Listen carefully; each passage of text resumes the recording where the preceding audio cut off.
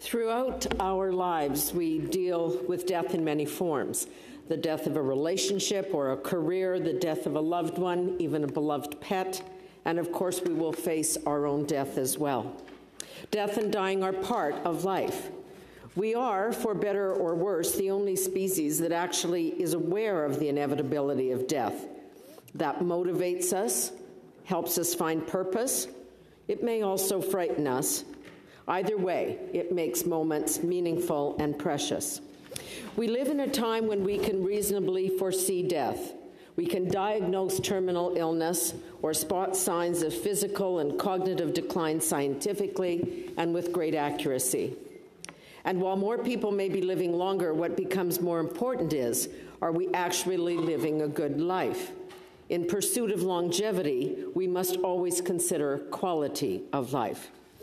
I have come to my views watching both of my parents die in two very different but equally tragic ways. My father to painful cancer, cancers, my mother to Alzheimer's. Their suffering was unnecessary and preventable. These encounters with death can help ready us for an end to our own life. We all want to be spared pain and indignity, but we need choices. I believe it is our right and perhaps even our responsibility to make our own end of life decisions. Every single day, Canadians with an incurable or irreversible medical condition suffer needlessly in hospital beds and care homes. They suffer, sometimes with loved ones close at hand, but too often alone or in fear, or the worst of all fates, without knowing who they are or once were. So, for many Canadians, the right to choose medical assistance in dying has been a blessing. I have seen it firsthand. The ability to choose is empowering. MAID affords a person not just relief from pain and suffering, but a sense of control and predictability, a chance to plan, and a chance to say goodbye. For those recently diagnosed with an incurable illness, death is a ruthless dictator. Research shows that over 20% have prolonged and intense feelings of fear of, a, of dying a painful death. We are able, so why would we not offer some certainty at the end when so much of life has become uncertain? That's what this bill is about peace of mind and a dignified departure. Bill S 248 gives Canadians, once they have been diagnosed with a grievous and irremediable medical condition, the ability to make an advance request for MAID before they lose the capacity to give final consent. It's a common sense answer to a gap in the current law, and it's something an overwhelming majority of Canadians want. And it will allow those diagnosed with dementia or Alzheimer's freedom from this possible catch 22. You can't ask in advance of a diagnosis, and once diagnosed, it's too late to ask for some time in the future. This bill will allow a person to apply long before they actually wish to die and long before they have lost capacity to ask for MAID. This offers peace of mind, a better quality of life for the time they have left, with much less stress and anxiety as they live out their final days. In 2019, a Canadian press survey found that over 86% of Canadians agree that people with a serious degenerative and incurable, disease should be able to request and obtain medical assistance in dying. And 74% said MAID should be accessible to all people with incurable diseases, even if their death is not imminent. And just last year, an Ipsos poll conducted by Dying with Dignity found that Canadians feel the same way about advance requests. 83% of Canadians support them for those with a grievous and irremediable condition. This is a powerful insight into the minds of Canadians, their values, their empathy, and concern for their fellow citizens, not just their loved ones. It's all clear. But even with so much public support, we still, sadly, have that unfair gap in our current MAID laws. And it is our responsibility as lawmakers to right this inequity. I won't review the entire history of MAID, but as you will remember, in 2016, the government introduced Bill C 14 in response to the Supreme Court Carter decision, which afforded individuals the right to make their own end of life decisions. In the bill, a series of safeguards were put in place to guard against fears of a slippery slope of access. But the government decided that access for mature minors or those with mental disorders as an underlying sole condition and the right to an advance request were all to be excluded from the final draft of the bill. The government said it wanted more time to figure out how the public and the medical world would deal with ethical complexity. Of course, all agreed that an assisted death ought not replace essential support and services for the underrepresented, the unwilling, or those who could have been treated or cared for but were failed by an unjust or unburdened system. But this applies to anyone for that matter. MAID is always a matter of choice. MAID is not an alternative to poverty or treatment or support or family. It should and must always be choice. And I believe as it stands, our MAID regime is moving toward the right balance between access and safeguards. We know a little more with MAID having now been available for more than six years. The third annual report on MAID, which was released in July, indicated that in 2021, 80% of all MAID recipients first had access to and received palliative care, and that number has remained constant since 2019. Of the MAID recipients who did not receive palliative care, 88% had access to those services but chose not to avail themselves of that option. So the typical MAID recipient is then a cancer patient in their 70s who died in their home after receiving palliative care in advance of MAID. So we must continue to work to ensure equal access as well uh, as access for those in rural or underserviced areas to make sure they are not denied access. There have been some suggestions, undocumented, of people being offered MAID as a first resort rather than a last. Any evidence of any such cases should be investigated, of course, but it does not mean the entire system should be replaced. There are safeguards in MAID law to make sure that those requesting MAID must state, literally in the moment before their medically assisted death, that they are certain. It ensures the patient, their doctor, the family, loved ones would all be absolutely certain that a MAID recipient had made the choice. It also ensures that medical practitioners administering MAID are legally protected. But, colleagues, instead of making things easier, some safeguards have actually created more ambiguity.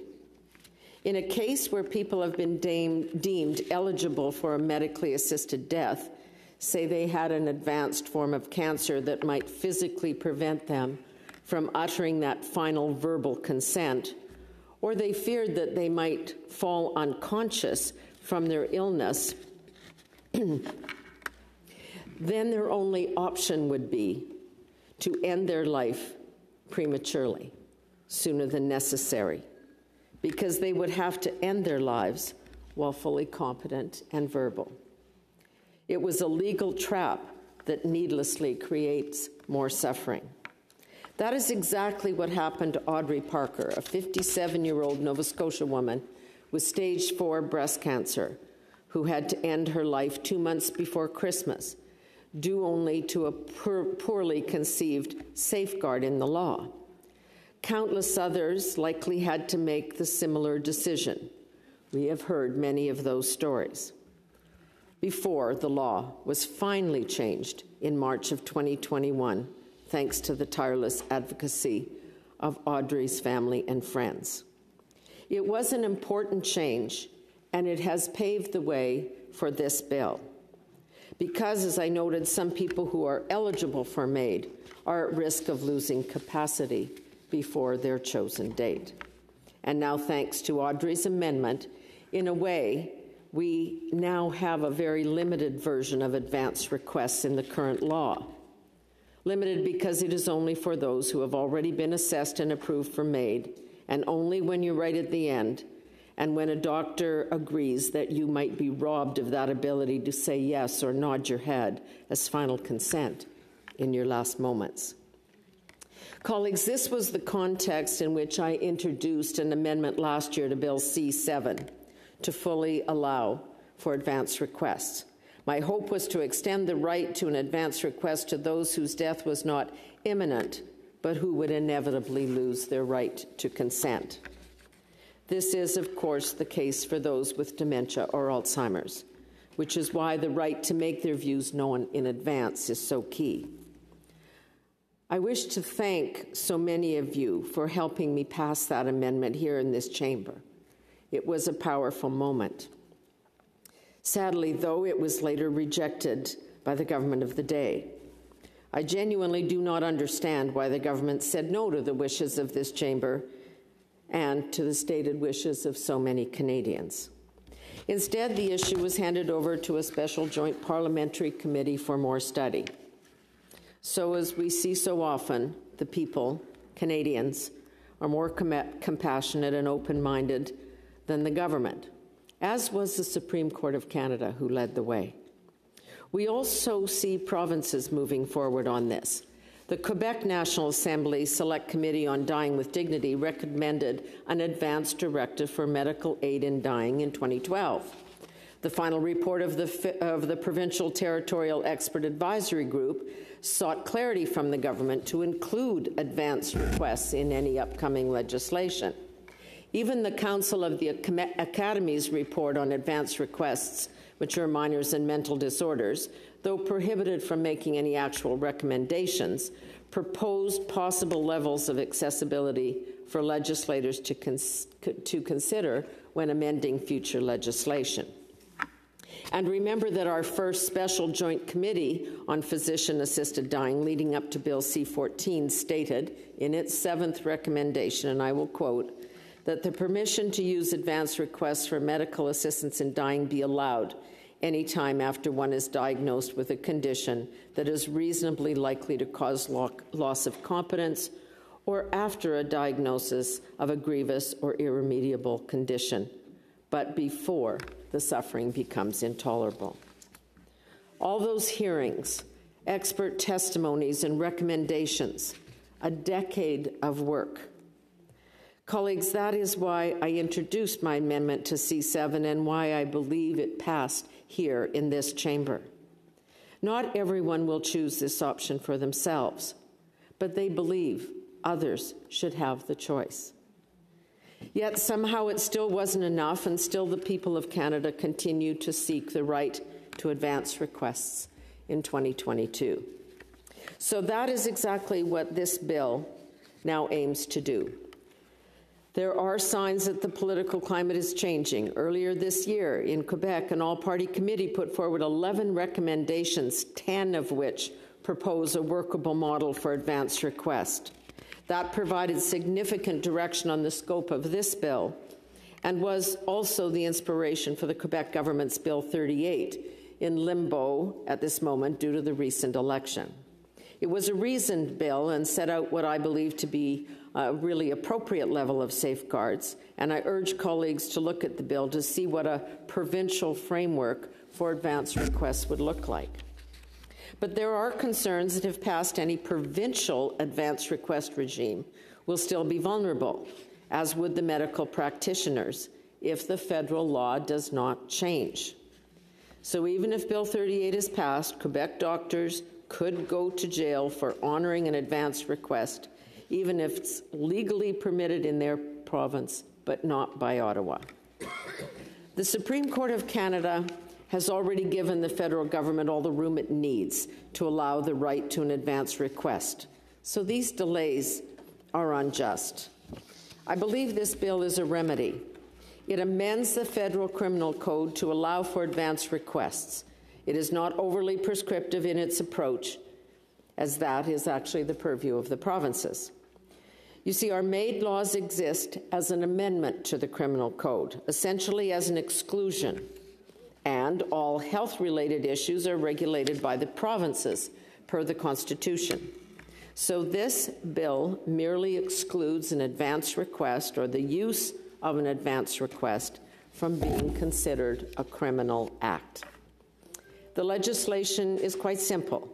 It amends subsection 241.2, bracket 3.1, bracket 3.2, and bracket 3.4 of the Criminal Code relating to a medically assisted death. This section is the final consent waiver safeguard, which can now be waived thanks to subsection 3.21, or as I described earlier, Audrey's amendment.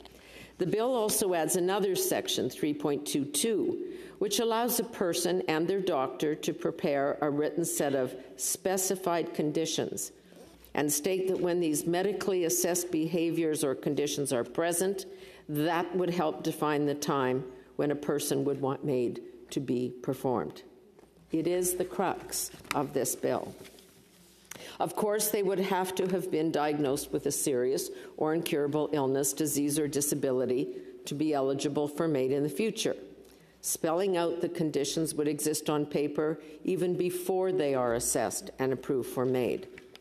Section 3.22a states that a person must be able to make may be able to make, let me get this correct, states that a person may be able to make a declaration in writing that a medical practitioner or nurse practitioner can perform MAID without final consent as long as the conditions of suffering that are clearly identified in the advanced request and that those conditions can be easily observed by the medical or nurse practitioner.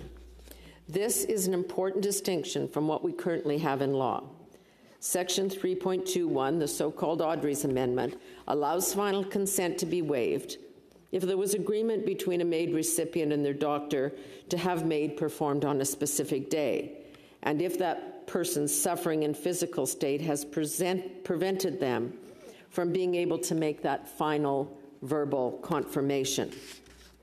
Section 3.22 affords the same right to Canadians diagnosed with a serious and incurable illness, disease, or disability who don't yet have a date set for a medically assisted death, but have established a clear set of criteria when they want their suffering to end.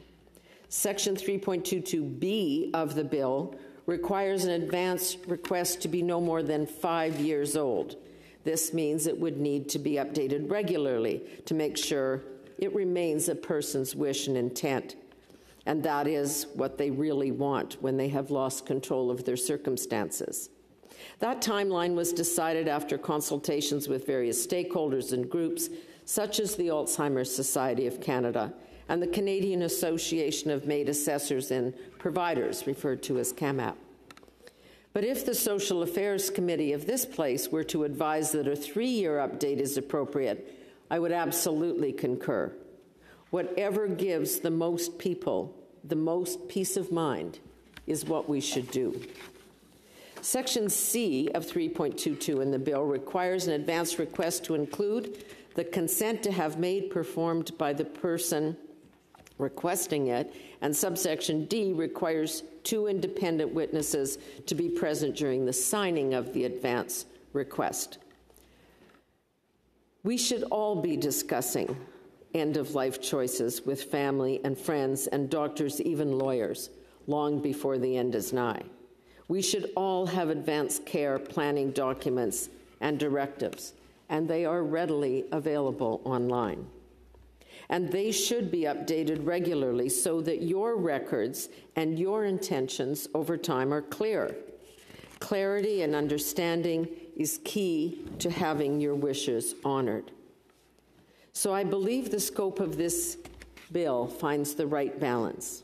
It requires an advance request to be regularly updated. It also requires someone seeking an advance request to discuss that request with their doctor and others, many others, in detail to ensure they understand what they are doing and agree on what criteria they and their doctors believe to be appropriate. And you would have to be approved for MAID it will not circumvent the parameters already established in our current laws or the scope recommended by any of our federal reports. It will not compel anyone to choose MAID, nor can, be, nor can it be used as a coercive tactic. It simply gives Canadians the assurance that in the event their disease, illness, or disability worsens to the point where they can no longer consent to MAID, that their wishes will be respected. Of course, the bill will benefit from study by our Social Affairs Committee. Health Canada and the province need to create regulatory frameworks to allow for advance requests. And no doubt they would benefit from our advice here.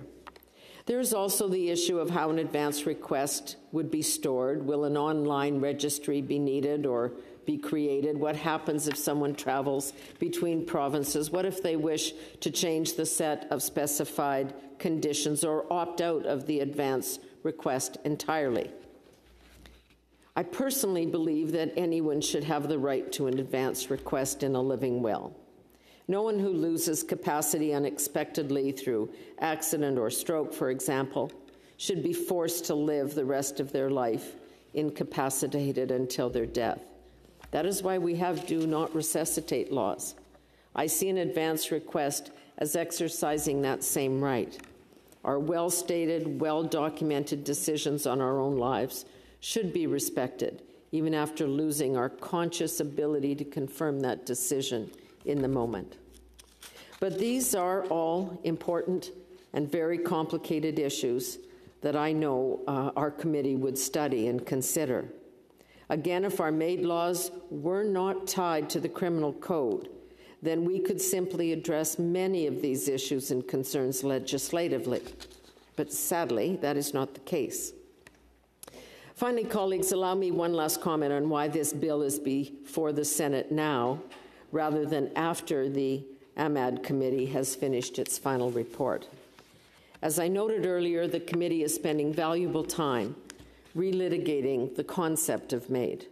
We have indeed heard from many witnesses representing the full spectrum of views on this issue, and I do hope this eventually leads to the crafting of actual recommendations that would be specific and useful for future legislation. But I think Senate committees are better able to report on matters in a timely way, and time is of the essence. But the government's action or inaction is often frustrating for thousands of Canadians awaiting decisions. Their lives and their deaths are too often trapped in our legislative limbo. In his Meditations, Marcus Aurelius wrote Every day, more of our life is used up, and less and less of it is left. But this too, if we live longer, can we be sure our mind will still be up to understanding the world. So we need to hurry, not just because we move daily closer to death, but also because our understanding, our grasp of the world may be gone before we get there. Colleagues, we do need to hurry. This bill will help those whose grasp of the world is fading.